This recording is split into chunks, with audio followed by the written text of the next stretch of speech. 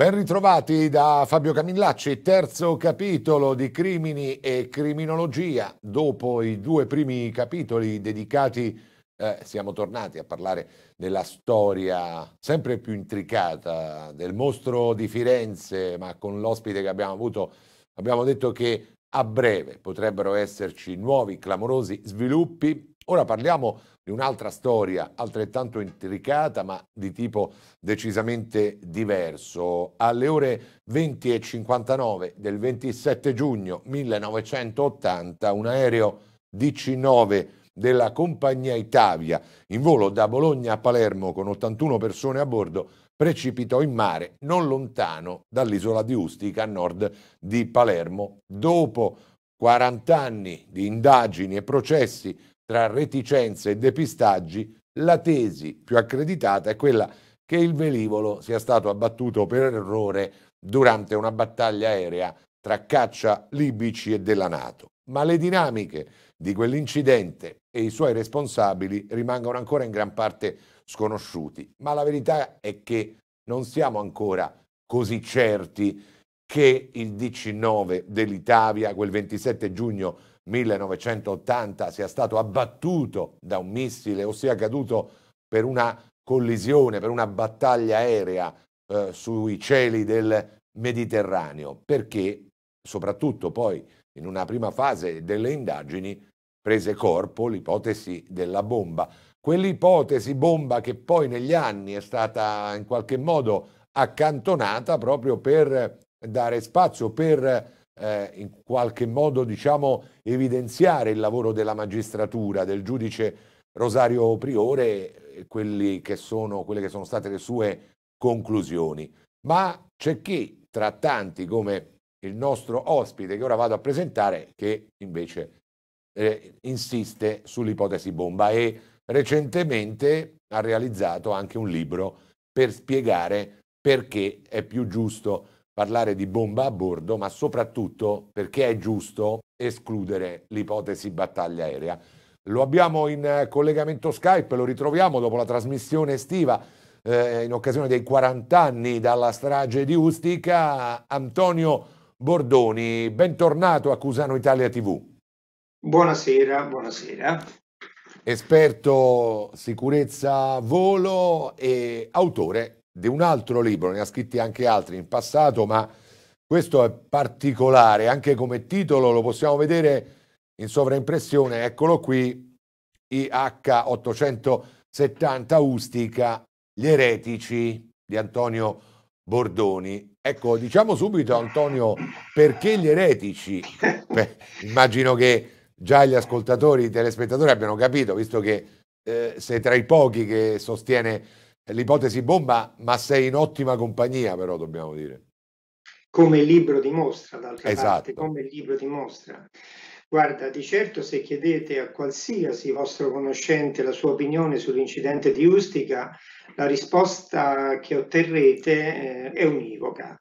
C'è stata una battaglia aerea quel 27 giugno 1980 il 19 si è trovato nel momento sbagliato al posto sbagliato. Questa è la mainstream eh, derivante però, tengo a precisare, da un processo pubblico di piazza che alla fine non poteva non influenzare pure le attività giudiziarie. Lo scopo di questo libro è di sensibilizzare l'opinione pubblica e i lettori su un particolare a dir poco sconcertante che ha accompagnato le indagini su questo incidente nel corso degli anni. Ed è un particolare che a mio avviso va evidenziato perché eh, non è di poco conto. È mancata l'indagine tecnica. È bene che gli italiani sappiano che su questo incidente è mancata l'indagine tecnica, ovvero sia si è voluto accentrare su un unico soggetto sia l'indagine giudiziaria con lo scopo di trovare il colpevole, sia l'indagine tecnica che invece andava lasciata a investigatori aeronautici professionisti. Questo modo di procedere ve lo assicuro e sfido chiunque a contestare quello che dico, è assolutamente fuori dai regolamenti internazionali sulle investigazioni aeronautiche in tema di incidenti, ade- incidenti aerei. Ed è per questo motivo, per questo deprecabile modo di aver condotto questa inchiesta, se oggi, a distanza di 40 anni, ancora parliamo di mistero, ovvero sia non c'è stata un'indagine tecnica che doveva chiarire che cosa è successo e invece si è preferito puntare su un'indagine giudiziaria e tecnica mista, fatta tutta e messa insieme, accentrata su un unico soggetto, il giudice istruttore, la quale alla fine eh, non è arrivata a nessuna conclusione. Però, però, tutti i tecnici che sono stati chiamati a dire la loro opinione su cosa potesse essere successo a Ustica, una volta che è stato recuperato il 95% del relitto, non hanno avuto alcun dubbio a dire bomba, esplosione a bordo. Ecco, questo è, è, è, sempre stato, diciamo, ma più che un cavallo di battaglia, direi proprio da esperto sicurezza volo e soprattutto da tecnico, eh, quello che ha sempre sostenuto anche quando lo intervistammo alla Storia Oscura a Radio Cusano Campus Antonio Bordoni. E ora ci ha scritto anche il libro con Giordano Bruno in eh, copertina a proposito di eretici. Però questo eh, alla fine fa riflettere molto Bordoni. Per quale motivo eh, in Italia dobbiamo innamorarci di un teorema e diciamo, dare anche in pasto all'opinione pubblica eh, una storia che poi non rispecchia la realtà. Cioè, che motivo c'era di dire è stata una battaglia aerea? Te lo sei mai ma guardi, della, ba- ma della battaglia aerea, io, io, io mi chiederei come cittadino della battaglia aerea se avessi delle prove che la battaglia aerea c'è stata. C'è stata. Ma a un certo punto, quando due radar, due radar, non uno, non hanno rilevato nessun velivolo intorno al DC-9. Quando eh, tutti gli aerei che hanno incrociato quell'area intorno alle 20.59 non hanno riportato alcunché di anormale, quando sul relitto del DC-9 non ci sta né il buco del missile né la mitragliata eventuale, gli spari di, di, di un qualche aereo attaccante. Tant'è, e le dico, penso che si sappia in giro che i, i, teoretici della battaglia aerea, una volta che è stato ripescato, ri, riassemblato il DC-9, dal momento che non c'era nessuna evidenza del missile, si sono dovuti inventare la tesi della quasi collisione. Allora a questo punto dice perché eh, la battaglia? Ma la battaglia aerea non c'è stata e prova ne sia che 5.000 pagine del giudice istruttore, della sentenza ordinanza del giudice istruttore, non sono arrivate ad alcuna conclusione né ad alcuna prova. Anche la Cassazione questo poi lo dice. La Cassazione eh. nel 2007 eh. ha detto che l'ipotesi della battaglia aerea è fantascienza, è fantapolitica. Allora dico io, quando di fronte a questi fatti continuare a dire come tutti ben sappiamo quella sera c'è stato, eh, come, tutti, come tutti ormai è noto quella sera, ma non è noto proprio un accidente, perché quella sera i piloti che sono passati in quell'area non hanno riscontrato alcunché di anormale. Io nel libro cito pure, perché a me piace pure provare quello che dico, certo. dico guardate, ci sono stati incidenti dove a un certo punto il capitano che ha incrociato di qualche minuto il volo incidentato è stato chiamato a deporre, è stato chiamato a deporre per dire senti un po', ma tu hai visto qualche cosa di, di sospetto, di anomalo quando ha incrociato l'aereo che poi è precipitato nel Mediterraneo, eccetera, eccetera, sono stati interrogati. Io in questo libro, e già l'ho detto l'altra volta, cito veramente de- delle cose allucinanti di come sono state condotte le indagini, ovvero sia non è stato interrogato nessun pilota che pure c'era in circolo intorno all'area di Ustica alle 20.59, però sono stati riportati due casi veramente eh, pazzeschi dal punto di vista investigativo. Guarda che nell'agosto 81 ovvero che 14 mesi dopo l'incidente, un aereo dell'Alitalia in quell'area ha avuto un certo problema. Guarda che nel maggio 82, due anni dopo l'incidente, un altro aereo dell'Alitalia volando su Ustica ha avuto un altro problema. Ma tu vai a interrogare chi alle 20.59 volava... Ma, ma, ma è inutile che mi dici che un anno e mezzo dopo un comandante ha incontrato un traffico sconosciuto volando in quella Tipo triangolo delle Bermuda praticamente. Eh, ma, no, Stando a queste, a queste cose, stati... a queste ipotesi. Ecco, però a questo punto chiedo ad Antonio Bordoni, ovviamente chiedo anche nella risposta il dono della sintesi, perché è chiaro che non è facile ma perché è giusto parlare di eh, tragedia di Ustica causata da una bomba a bordo, verosimilmente piazzata nella toilette dell'aereo, e che è poi documentato tutto questo sul libro che ha scritto, riportando anche dichiarazioni, dicevo, di autorevoli esperti. Perché la bomba a bordo? Cioè, cosa ci fa capire che fu una bomba, non un missile né una collisione aerea? Allora, la bomba a bordo non lascia, lascia assolutamente delle tracce indelebili e Frank Taylor, l'investigatore aeronautico britannico, ha trovato le prove che sono state trasmesse pure da Mayday, dalla trasmissione National sì. Geographic, che le, le, parti di tubo mh, che hanno avuto determinate eh, malformazioni sono tipiche dell'esplosione a bordo e ha dimostrato pure che se è avvenuta un'esplosione a bordo in quella certa zona si spiega pure tutta la sequenza della rottura del velivolo. Ora, eh, la bomba a bordo sarebbe stata l'indagine che ci avrebbe portato dal punto di vista tecnico a determinare le cause della sciagura e a far sì appunto poi, una volta detto bomba a bordo, che il giudice penale istruttore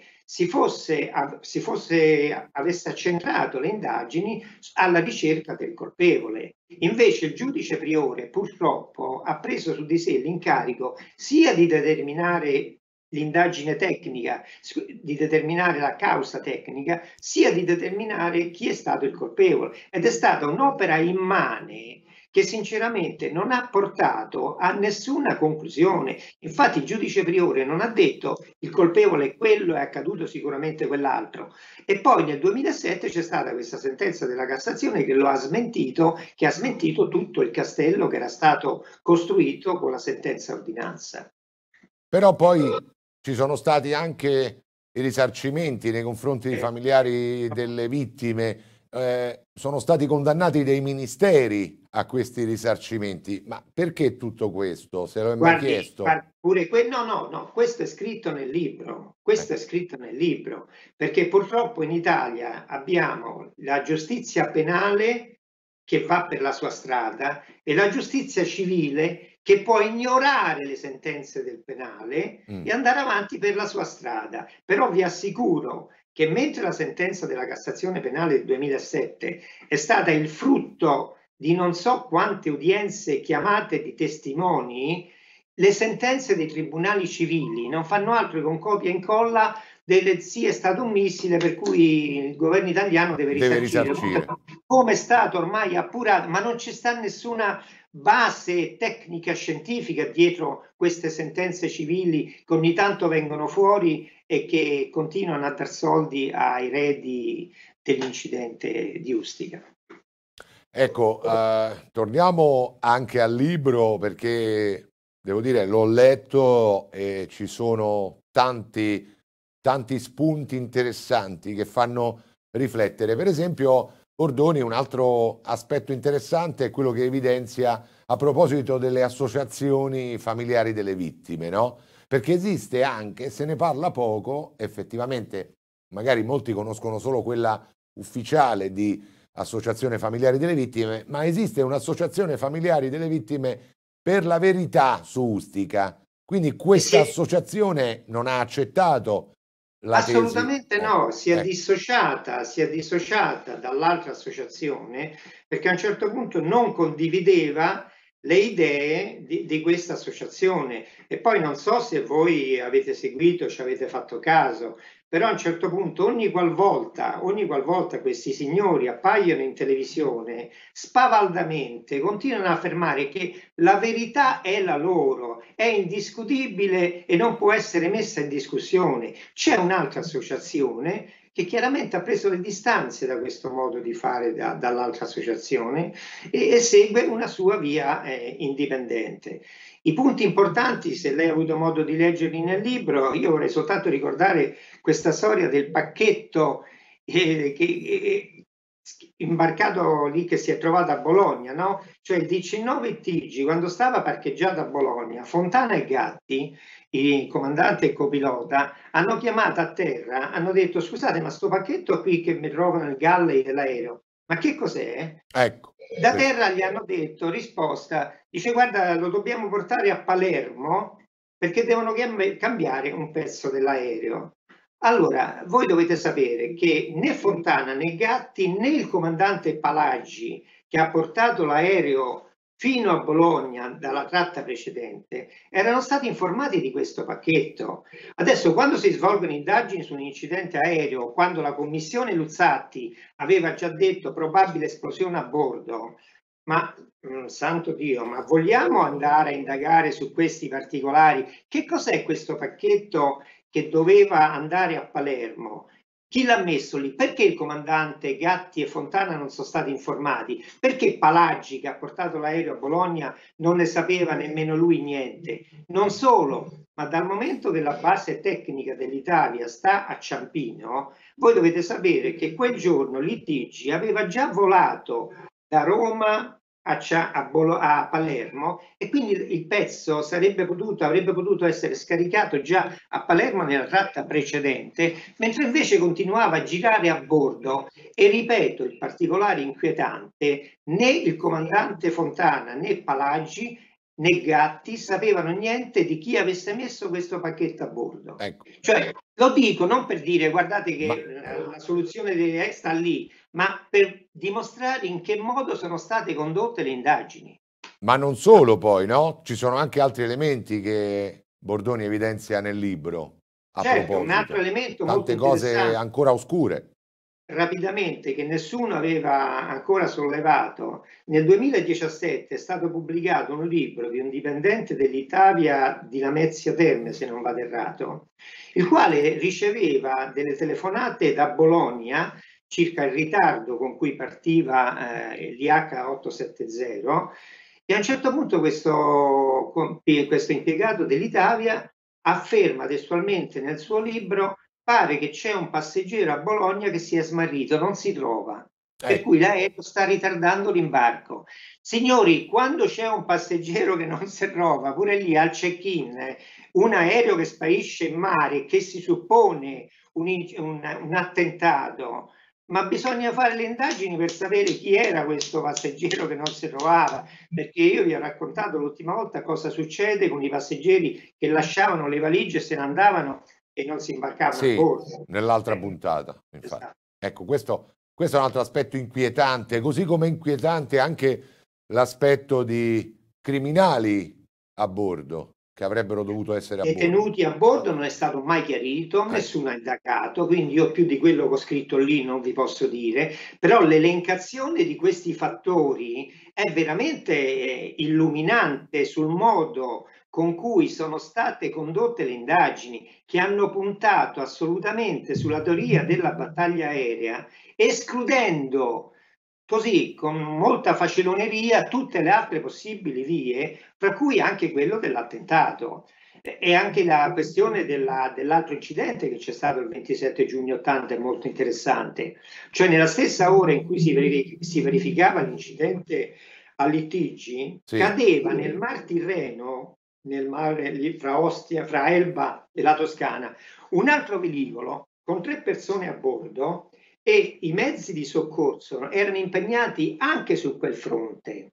Allora, siccome il 14 agosto del 1980 pochi mesi dopo, quindi l'attentato, l'incidente dei litigi, si verificava eh, l'esplosione all'isola d'Elba dei trasmettitori di Radio Corsica Libera, quell'aereo lì che è caduto il 27 giugno 80 alla stessa ora in cui più o meno cadeva l'ITG, veniva, andava, veniva, andava dall'Elba e quindi io pure lì una indagine per sapere se per caso fosse stato eh, questo aereo manomesso in modo tale che quando cadeva l'ITG i mezzi di soccorso fossero impegnati già sul fronte di questo, di questo incidente e ave, quindi subivano ritardi sull'altro fronte dei soccorsi al DC9 Italia. Anche lì questo era un aspetto che andava indagato, ma ce ne sono tanti. Ma ce ne sono tanti, è vero. Eh. Emergono proprio nel, nel vista, libro di Antonio Bordoni.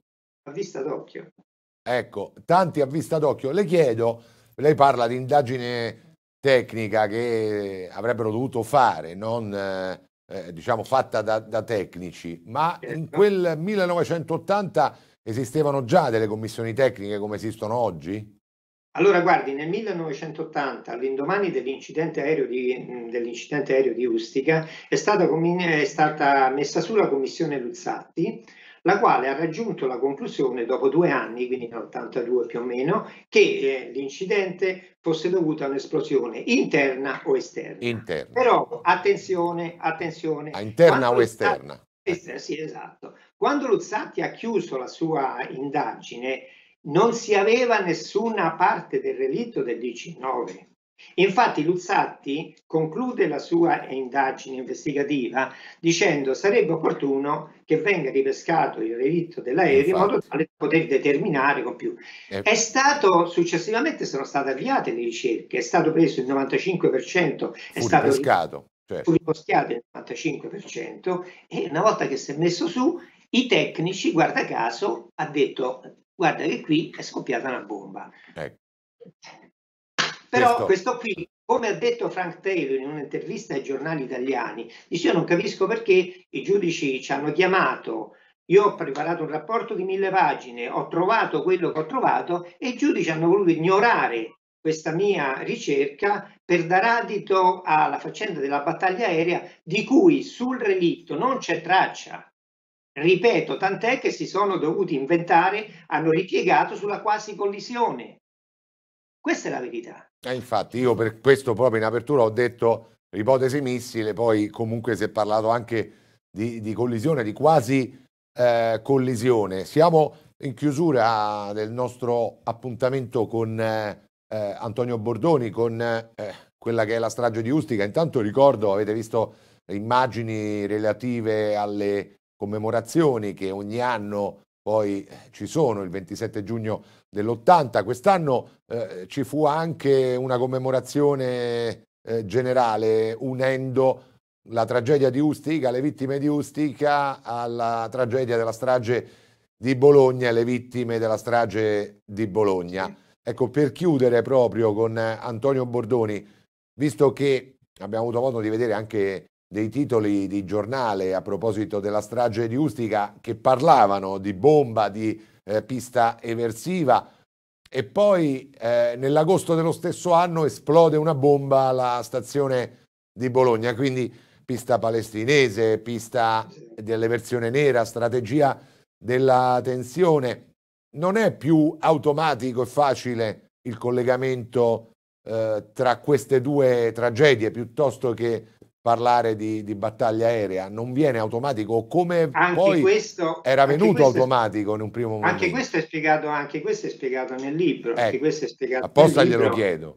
Perché a un certo punto, eh, con tutto quello che è successo in Italia in quegli anni, in quei giorni, in quei mesi, eh, la bomba a bordo era proprio il modo default per far cadere un aereo. E riguardo all'immagine che sto vedendo qui sul video de, del Museo della Memoria che è stato messo su a Bologna, sì, è visto, anche eh. il caso di ricordare agli ascoltatori che secondo i regolamenti internazionali, finché non si sono concluse le indagini e finché non si è chiarito per quale motivo è avvenuto l'incidente, quel relitto dell'aereo andava conservato a pratica di mare perché se oggigiorno noi non possiamo riaprire le indagini su quell'incidente. Dove stava? Andava lasciato dove stava? Esatto, andava lì tenuto in custodia giudiziaria, questo lo dicono i regolamenti internazionali, tu non lo devi esporre al pubblico per farne un monumento. Se non hai determinato la causa della sciagura, lo tieni a disposizione delle autorità investigative, giudiziarie, ma non lo metti in una piazza. Adesso quello che sta al Museo della Memoria non è più abile a essere messo nuovamente sotto mh, mm, la lente di ingrandimento per determinare ulteriori indagini, ma, per avviare ulteriori indagini. Ma evidentemente ormai come diceva prima Bordoni e come affermano in tanti, sappiamo che, siamo certi che, abbiamo saputo che, cioè, insomma, ormai si è voluto chiudere il cerchio con, con quella tesi. Noi che invece, a noi che invece piace sempre approfondire e mettere sul tavolo tutti gli elementi, come avete visto e sentito, eh, facciamo parlare gli esperti e sentiamo, come si dice, tutte le campane. Grazie Antonio Bordoni, ricordiamo il libro che ho qui sulla scrivania, ma che anche Luca Rossi in cabina di regia a proposito di quella che è la copertina, quindi la possiamo fare rivedere eh, con eh, l'ausilio della nostra regia. Eccolo qui, le retici a proposito della strage di Ustica perché è appunto la tesi della bomba mentre prevale quella del missile della battaglia aerea. Grazie ancora Antonio Bordoni, esperto di sicurezza volo, a presto. Grazie a voi dell'ospitalità, alla prossima. E buon lavoro, e chiudiamo anche il terzo capitolo di Crimini e Criminologia di oggi, tra poco volteremo ancora pagina perché andremo alla nostra galleria degli orrori, non vi anticipo nulla, ma restate sintonizzati su Cusano Italia TV perché c'è un protagonista della Galleria eh, degli Orrori di molti, molti anni fa, di secoli, dobbiamo dire, addietro, ma non sveliamo nulla, quindi tra pochissimo ne parliamo qui a Cusano Italia TV.